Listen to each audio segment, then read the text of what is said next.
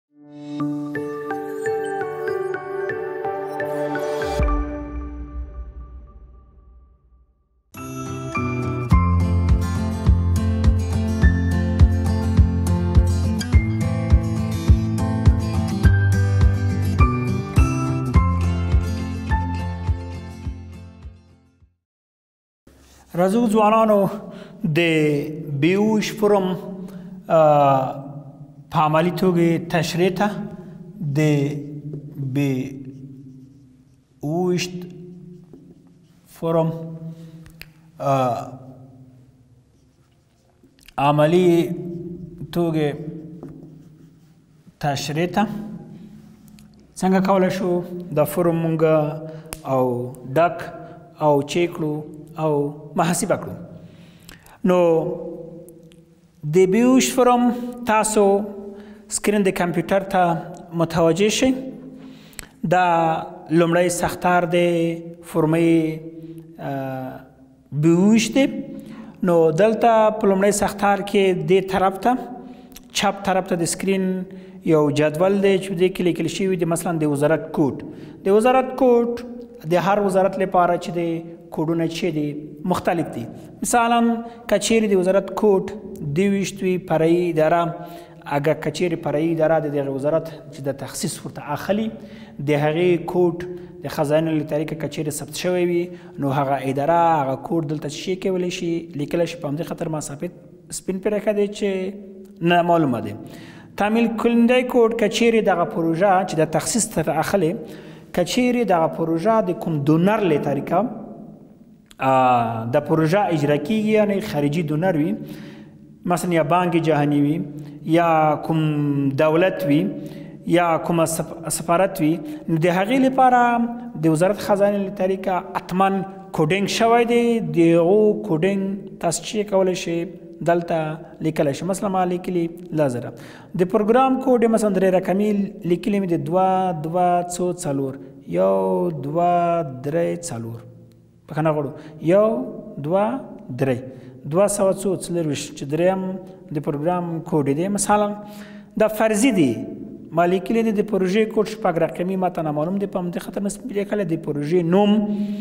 مثلا د پروژې نوم دی د کابل د ادارې او سوداري انستیتوت بیا چې رغونه ده بیا چې د رغونه ده د افغانستان اسلامي جمهوریت د مالی وزارت د بودیجې عمومي ریاست له طریق هم دغه تخصیص د کابل او حسابداري انسټیټیوټ د بیا رغونې لپاره ورکول کیږي مالی کال یې د لسانه نوي څلورم لسم تاریخ باندې د صدر شوی شماره کچېرې صدر شوی شماره په همدې تاریخ باندې وي نو تاسو لیکلی شئ هغه بخښنه غواړم د صدر شوی شماره چې هغه کتاب کې چې دی هغه دلته چې کولای شي تاسو لیکلای شي چې په دې نیټه دغه صادره شوې ده راځو د تخصیص غوښتونکي اداره تخصیص غوښتونکي اداره کومه اداره ده تخصیص غوښتونکي اداره تاسو به د کوډینګ ته مراجعه کوئ چې دا کوډینګ په کومه اداره پورې اړه لري مثال دا کوډینګ د ویش کوډ چې د مثلا د تخنیکی تعلیماتو اداره او د کابل حسابداري انستیتوت پورې لري نو دلته به تاسو هغه ولیکئ ترتیب ترتیب کوونکی څوک دی چې هر څوک وي دلته به تاسو هغه ترتیب کوونکی چې دغه چې د لیکي مثلا د ادارې کابل پیس ادارې کې مثلا مالکی لی امیر محمد حقجو دا په دې معنی نه دی چې دا زه د مثلا د بودیجې مدیر مثال ما په شکل دی دلته خانه پوری دی پاره مراوړی دی دغه ستون ډک شي منظور کننده مقام دی د اسعار ډول د اسعار ډول کچیر ډالر وی تاسو به ډالر لګی کچیر کلدار وی کلدار به لګی کچیر پاوند وی پاوند به لګی نو هر اسعار ډول چې وی د ډول هغه واحد پولی به دلته شي کې ذکر کې مثلا موږ چې دا پروژه چې تر بیا د کابل حسابداري انستیتوت کې د بیا رغونې لپاره تر سره کوو افغانۍ دي نو ما څخه چې لیکلي افغانۍ لیکلي دي راځم دا د بیوشت کوټ ساختار دی چې تاسو په سکرین باندې چیک کړئ په سکرین باندې ګورئ مثلا د دې فورم چې دی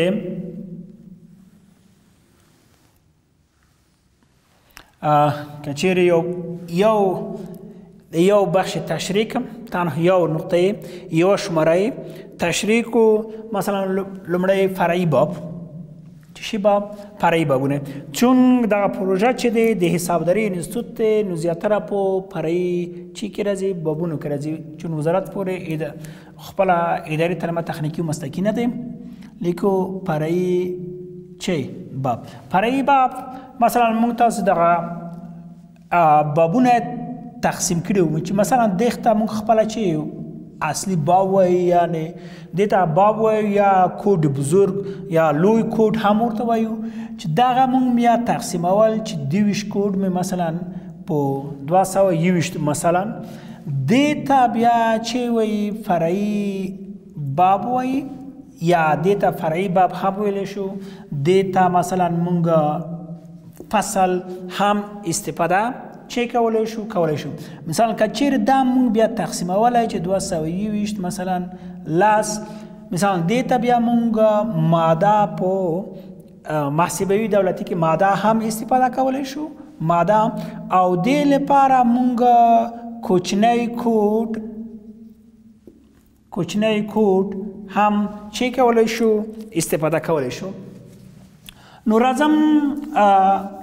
پرای باب پرای باب نه مثلا عنوان دی ورسته چې دی عنوان دی لیکم عنوان د عنوان نه ورسته راځي د منظورې اصل دی د منظورې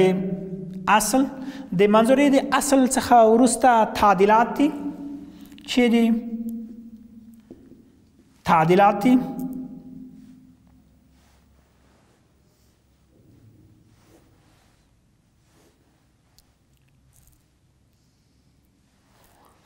د تعدیلاتو کې مثلا موږ لرو چې تزئید او تنقیس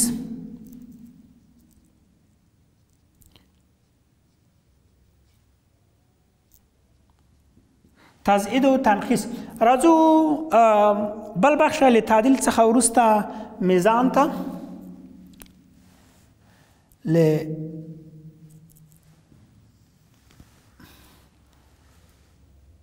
له تعدیل څخه ورسته میزان ته بل راځو د تخصاتو صادرول یا صادر شوی تخصات صادر شوی تخصیصات ځوانانو د صدر شوی تخصیصات څخه وروسته مونږه لرو د لګښت معلوماتي راپور د لګښت کم ذره جنجالی دی خیر دی د لګښت معلوماتي راپور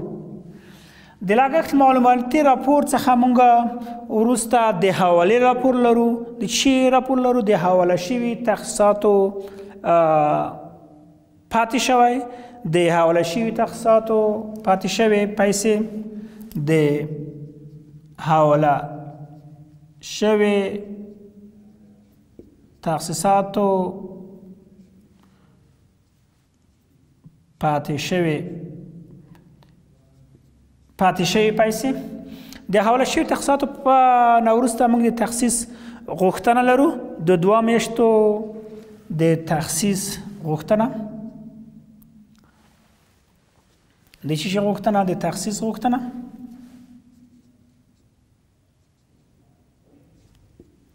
تخصیص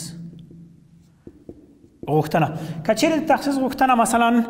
د میاشتو په حساب یا د روبي په حساب تاسو هغه میاشت هغه روبه دلته شي کولای شي دلته مشخص کولای شي مثلا د چنګاخ او لیندې دلته راغلي ده چنګاخ او لیندې هغه بدلته چي کې ولیکي نو ورسته د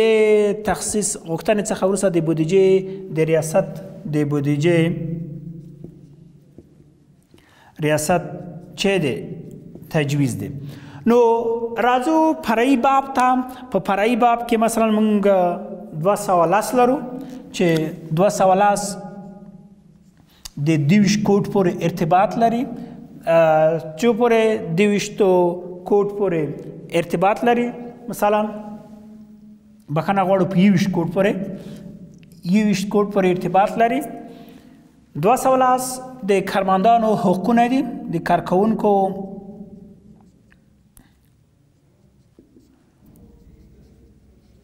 چې دي حقوق دي د کارکونکو حقوق کچېره مونږ 15 لک افغانۍ ولرو څو منځوري اصل زمونږ 15 لک افغانۍ پنځه لاکه افغانۍ ولري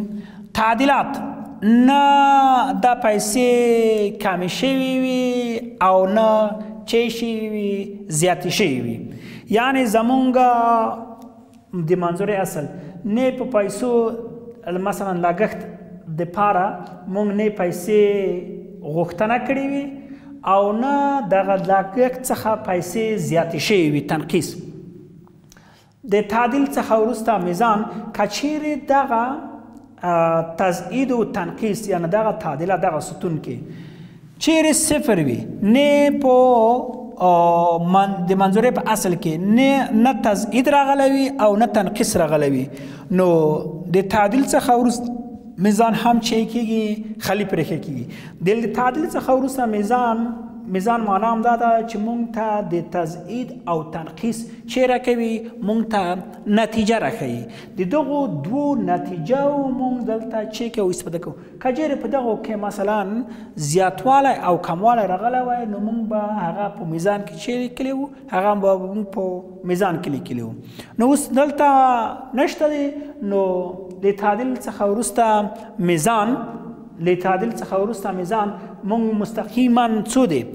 څو د دلته 15 لک افغانۍ دي نو دا 15 لک افغانۍ مستقیما موږ دلته چیک او لیکل شو کچېرې دلته یا زیاتواله یا کمواله راغلی وای نو په دغه مبلغ کې دغه ستون کې به چې راغلی وو تغیرات راغلی نو بیا موږ نشو کولای چې دغه ستون موږ دلته چیک کړو انتقال کړو د تعدیل څخه ورسته میزان زمونږ مثلا 15 لک افغانۍ دي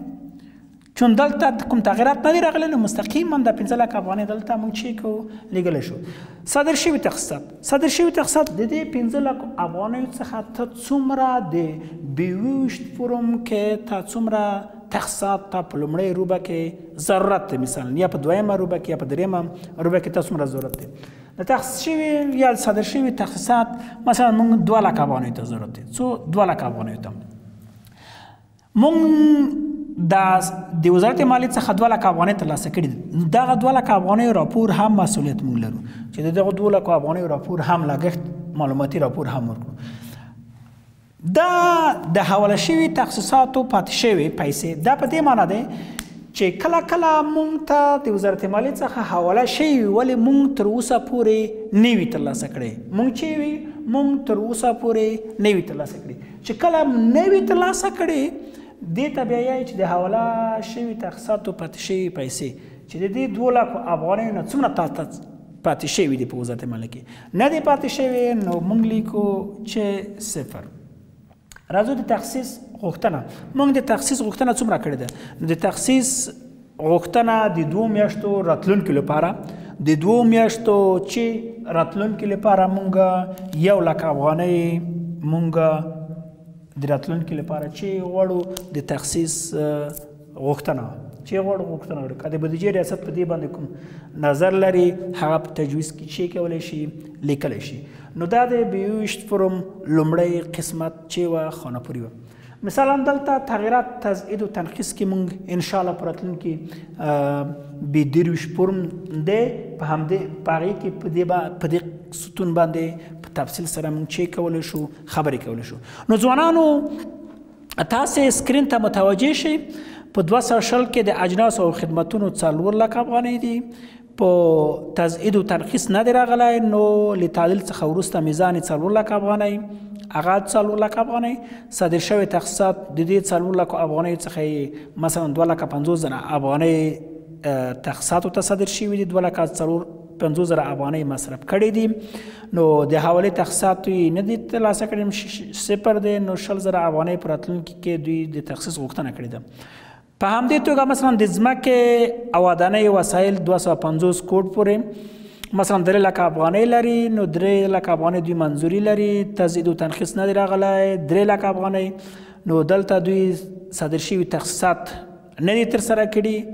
چې تر اوسه پورې دوی تخصیص درې لکه افغانۍ نه ده ترلاسه کړی نو دلته هم صفر صفر مه پرېښی دی او د غوښتنه یې د راتلونکي لپاره د چنګاښ او لیندۍ په میاشت کې څومره کړې ده یو لک او پنځوس زره افغانۍ نو د منظورۍ اصل دا مجموع جمع کوي مثلا 15 لک 4 لک 9 لک یو لک لاس لک 14 لک 50 زره 14 لک 50 زره شپارس ولس لکه ولس لکه درې لکه شل لکه افغان یعنی 2 میلیونه څو 2 میلیونه افغاني په همدې خاطر هر ستون مجموع خلاصوي او بیا دلته د دغه مجموع د هر ستون ځان ته ځان ته لیکي دا د بیوشت چې و فرمو دغه اخري قسمت دی چې ورسته پر بیلانس کې دغه فرم ثبتوي چې کله د ثبت کې د هغې لمبر په لیکي لاسلیکي څوک چې ثبتوي هغه منظوروي او لاسلیکوي ورسته دلته باید ارقام په تنها په عدد مونږ نه لیکو چې مونږ دا پیسې په اساس د عدد ول مثلا ولیکو چې مونږ یو لک افغانۍ یو لک افغانۍ ته باید په حروفو هم ولیکي مثلا یو لک افغانۍ یا یو میلیون افغانۍ د سکتور امیر د بودجې کنټرول دغه لاسلیک او نیټه دوی دلته نوم لیکي دلته کله چې نوم ولیکي دلته لاسلیک او نیټه لیکي د بودجې اجرایي رئیس نوم او